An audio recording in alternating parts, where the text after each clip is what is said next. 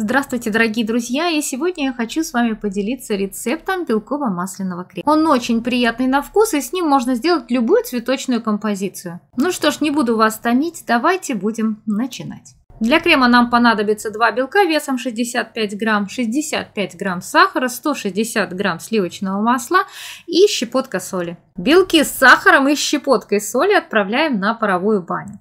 Ни в коем случае ваша посуда не должна касаться воды.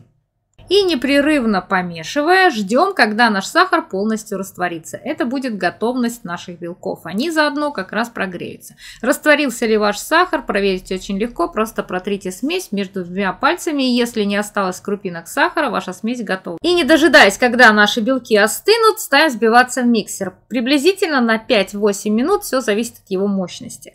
Добиваем белки до хорошей плотной меренги. Как только наша меренга готова, начинаем добавлять размягченный топленое сливочное масло. Оно должно быть обязательно комнатной температуре, тогда ваш крем 100% получится. Делаем это постепенно, давая каждый раз крему объединиться с нашим маслом. Наступит такой момент, когда покажется, что ваш крем расслоился, но так и должно быть. Ни в коем случае не переживайте, а продолжаем взбивать. После добавления всего масла продолжаю взбивать еще приблизительно 5 минут, но опять же ориентируйтесь на мощность вашего миксера. Возможно, вам понадобится меньше. Ваша масса должна побелеть и стать однородной консистенции. Это означает, что крем готов.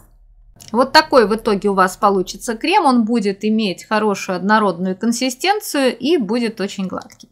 Данный крем легко окрашивается любыми пищевыми красителями, но имеет слегка желтоватый оттенок, поэтому если вы хотите белый цвет, то нужно добавить в него соответственно и белый краситель. На примере сейчас покажу, как я делала розочки из данного крема. Использую насадку 124 Сначала создаем небольшую базу, а потом против часовой стрелки начинаем накручивать наши листочки. Так роза будет выглядеть более натуральной. В конце дополняем нашу розочку зеленью. Делаю это насадкой лист розы номер 70. Вот такая роза в итоге у нас получилась. Надеюсь, что данный рецепт крема вам понравился. И вы, конечно же, поставите ему свои лайки. Также буду ждать ваших комментариев. Ну и, как всегда, если вы были сегодня со мной впервые, значит, обязательно подписывайтесь на мой канал и нажимайте на колокольчик, чтобы не упустить новых видео. На сегодня все. Всем пока-пока.